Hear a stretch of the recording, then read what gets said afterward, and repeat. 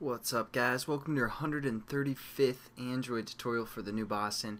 What we're going to do in this tutorial, we actually aren't going to work with, you know, our alert yet. Uh, I'm just going to show you some of the basics before we jump into into that because it might be a little bit more complicated. Um, but what we're going to do is basically add a compass to our map activity that will tell us the direction that we're heading, which is north and all that good stuff. It's going to be pretty simple. And to do that, we're going to add an object that's from the My Location overlay.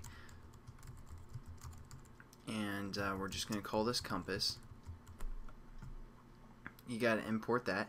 And then what we're going to do is we're going to go down here um, within our onCreate method and we're going to set compass equal to new uh, My Location overlay um, and then we pass into the con or pass into the parameters uh, the context which is main.this and then our map or a map view I should say which we called map. And then all we have to do is add to our overlay list that we created a few tutorials ago um, add our compass. And now we'll have an overlay that displays the compass. Uh, it's pretty simple. I mean that's that's pretty much it for for adding a compass. What we can also do is we can right click and go to source, uh, override unimplemented methods, add the on pause and on resume method, and then we can also define our compass within here basically to just say uh, we're just going to say compass dot uh, disable compass and then we also have a method called compass dot um, enable method or compass I should say. So there we go. Now our compass is going to be disabled when we go and pause and enabled when we are in resume. But now let's also learn about something called a controller. Now a controller is going to be able to animate where we're going uh, through our map activity. So what we need to do is we need to set up a a map controller object. So we're going to call map controller and we're going to call this uh, controller. Or control yeah controller. And add this import and I'll just show you a quick example of what this can do.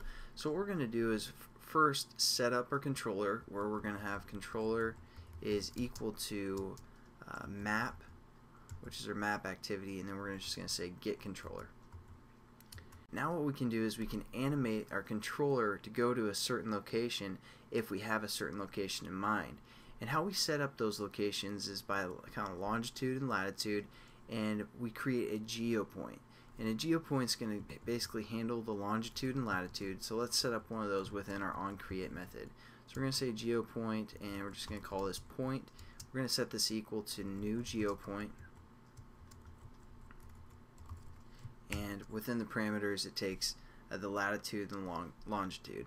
So if you guys know the latitude and longitude, uh, make sure if if it's like one point something something something, you need to take it times uh, one uh, e whoops times one e six, and I'll just get it in kind of a format that Android likes. So um, just keeping that in mind, you know, if you have like a, a longitude that's 1.743 or something like that.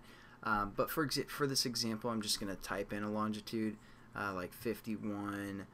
So I'm just going to type in something like that, or actually like that, and that's for my latitude. And for my longitude, I'm just going to again type in some numbers. Uh, let me make sure this is an actual point. So about 6, yeah, that'd be about 7.8 and 51.6 um, if, if you guys are familiar with that. Now what we can do is we can say our controller and we can dot, say dot animate to a geopoint. And since we just set up this geopoint called point, that's what we're going to animate to. We can also set our zoom with our controller. So we can say controller dot zoom and we have some zoom methods like uh, zoom in, zoom out. But what we're going to do is we're just going to set our initial zoom to be something like 6 maybe. And see, so our controller can do a lot of different things. What it's going to do within this, within this onCreate method is locate this geo point, animate to that point, and then zoom in. and basically these are different levels of zoom you guys can test those out and have fun with that but let's run our application make sure it works and you know that's just kind of the basic um, some more basic stuff that we can do with Google Maps. And then see our uh, our controller zooms in somewhere over looks like Germany or something. Yeah Germany-ish uh, in that range. Um, again it animates to that point and then zooms in. So that's kind of the basic functions of the controller.